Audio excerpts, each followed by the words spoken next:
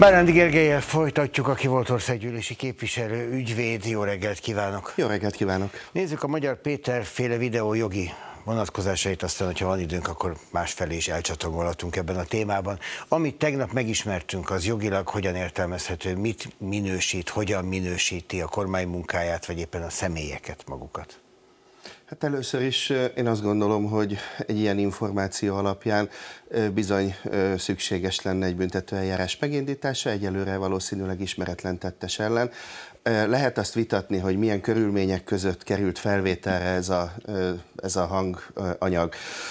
Azon is lehet vitatkozni, hogy ez GDPR szabályokat sérte, vagy esetleg lehet-e mondjuk személyiségi jogsértésért bírósághoz fordulni, ugye a résztvevők egyikének, nyilván a volt miniszternek, de az biztos, hogy Magyarországon ma a büntetőeljárásokban ugye szabad bizonyítás elve van, az azt jelenti, hogy ez az anyag aggály nélkül felhasználható egy büntetőeljárásban. Tehát külön kell választani valóban az, hogy polgári eljárási következményeket vizsgálunk, vagy büntetőeljárási. Na nézzük a büntetés, büntetőeljárási. Én is azt gondolom, hogy az az érdekes. A politikai és a büntetőjogi vonatkozás. A másik az a, a, a magánkezdeményezések kategóriája. Egyébként érdemes arról is beszélnünk pár mondatot, mert ott is ebben a tárgykörben is sok mindent tudunk már Varga Judit közléseiből is elég érdekes kapcsolati rendszer bontakozik ki. Viszont ha a büntető jogi vonatkozásait nézzük, van ezen a felvételen bármi olyan, ami egyértelműsíti azt, hogy van az ügyészségnek, rendőrségnek, bíróságnak, menjünk végig az úton, valami dolga? Hát hogyne. Hát ugye egyrészt nagy különbség van a között, és ez persze mindig a hatóságok, bíróságok mérlegelési körébe tartozik, hogy kinek mit hiszel, mit tart alkalmasnak arra, hogy egy büntetőjárás alapja legyen. Tehát ha ez a felvétel két félrészeg ember között történik egy kocsmában, akkor az ember legyint rá egyet. Na de az, amikor az akkor hivatalban lévő igazságügyi miniszter, akinek ezekről vagy ezek nagy részéről vagy hivatalos, vagy informális tudomása kell, hogy legyen már ezekről az eseményekről.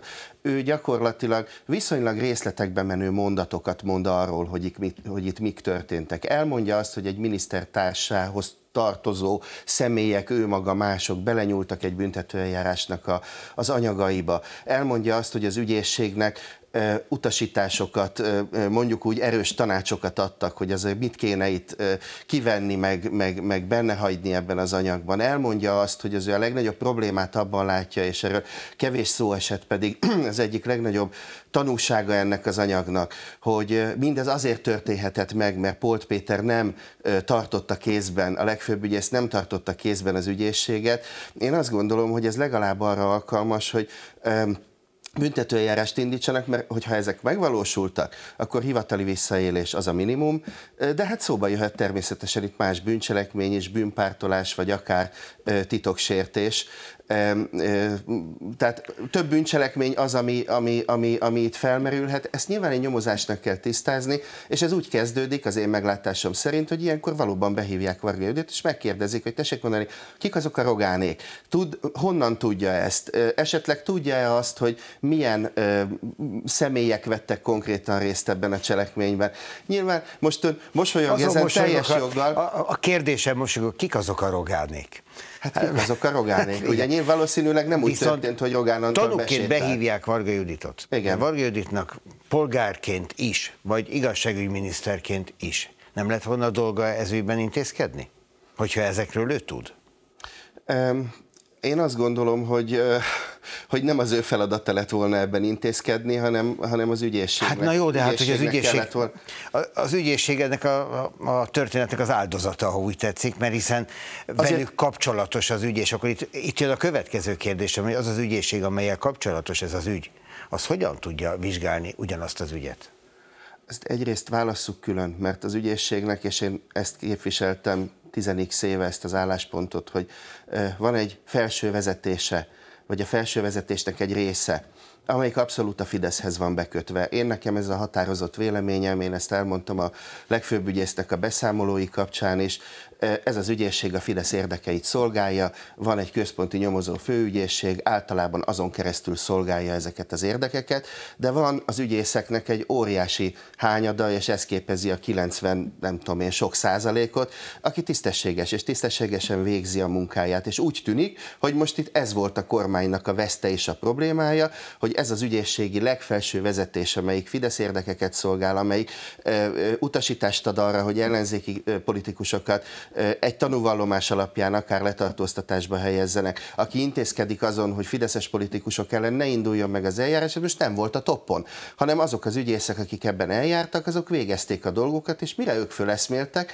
addig már, ha úgy tetszik, az ő szemszögükből meg volt a baj. Tehát akkor ez, ez volt kell ez a jelenség. hogy most sem lesz a topon az ügyészség vezetése? Nem tudom, ezt én nem tudom megmondani, valószínűleg most már rendkívül óvatosak, de ahogy egyébként utalt rá bevezetőben, ennek az egész történetnek alapvetően az én meglátásom szerint, és én ezt mondom büntetőjogászként is, nem a büntetőjogi relevanciája a legizgalmasabb, mert olyan, hogy valaki hivatali visszaélést elkövet, hát ilyen van. Itt a hatóságoknak el kell járni, fel kell lépni velük szemben. De itt, amit az igazságügyminiszter elmondott, ez egy nagyon-nagyon komoly rendszerkritika. Itt azt szokták mondani, és nem szeretem ezt az elcsépelt dolgot használni, de tényleg az van, hogy mondjuk Hollandiában ebben belebukik tényleg egy kormány. Ezeket nem lehet, nem lehet azt mondani, amit mondjuk Gulyás Gergely mondta, hogy kipukkadt a lufi. Kipukkad a lufi akkor, amikor egy igazságügyminiszter elmondja azt, hogy a legfőbb ügyész egyébként milyen módon befolyásolja jogellenes módon az ügyészséget, amikor elmondja azt, hogy egy minisztertársa hogy akar jogellenesen befolyásolni egy büntetőeljárást, hogy abból őt és a társait az ügyészség kimentse. Hát ez egy olyan botrány, ez egy olyan elképesztő sztori, ami tényleg azt mondom, hogy ha nem ebben az országban vagy tőlünk keletebbre élnénk, akkor ennek nagyon-nagyon súlyos politikai következményei kellene, hogy legyenek, nem hosszú távon, hanem azonnal és rövid távon. És szerintem ennek az egész sztorinak ez a lényege, és amikor arra hivatkozik a miniszter, hogy ő ezt félelemből mondja, vagy befolyásolást,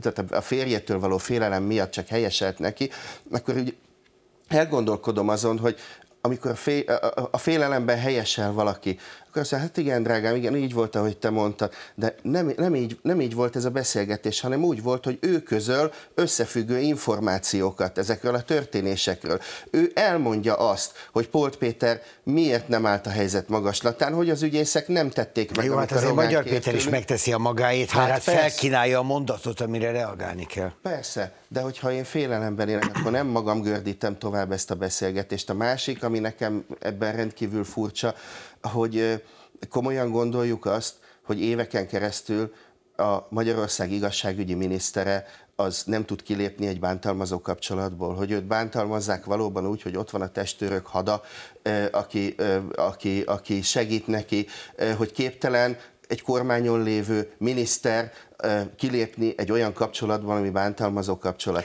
Én ne, nem tudom, ezt nem a, szóval nekem Erről ebben két vannak gondolok, ha szabad erre reagálnom. Az egyik az az, hogy ő is asszony és feleség és ember, tehát hogy attól, mert miniszter, attól még ugyanolyan kapcsolati kötődései és problémái lehetnek, mint bárki másnak. Ez természetes. A, csak, a, másik, a másik, hogy azért az elgondolkoztató, hogy pont ő volt az igazságügyi miniszterként, aki arról beszélt, hogy a magyar nőket nem kell újabb törvényekkel megvédeni, mert a kapcsolati erőszak, ami ugye igazából nincs is, csak házasságon belül van, ezt is tudjuk már, ez Magyarországon rendezett, ezért nem kell isztambuli egyezmény. Isten ments, hogy bagatelizáljam. Tehát én aztán tényleg a szakmámból tudom, hogy nagyon sok nő áldozata ennek a jelenségnek, és szó sincs arról, hogy én ezt ne tartanám egy komoly problémának. Igen, tud az lenni. Én azt tudom mondani, hogy az a fajta, és talán így pontos az, amit mondok, hogy az a fajta védekezés, hogy ő ezt az egészet azért mondta csak el, mert egy bántalmazó kapcsolatban él, és abból nem tudott kilépni, és nem volt más lehetősége, mint ezekre a felvetésekre neki helyeselni, én ezt nem tudom elhinni, és nem tudom elfogadni. És legfőképpen még egyszer mondom a szövegkörnyezet miatt mm. sem, mert ő mondja ki azokat a mondatokat, amik a legterhelőbbek, és nem arról van szó, hogy Magyar Péter kimondja, és ő azt mondja, hogy igen, drágám, persze ez így történt. Hiteltelennek gondolja a védekezését az igazságügyi miniszternek? Nagyon. És a leírtakat a kapcsolatukról? Azt nem tudom, nem voltam ott, és nem is az én dolgom megítélni, de én nem, nem tudok a kettő között ilyen relációt józanésszel felállítani. Ez az igazság. Bárándi Gergely, köszönöm szépen. Én köszönöm szépen.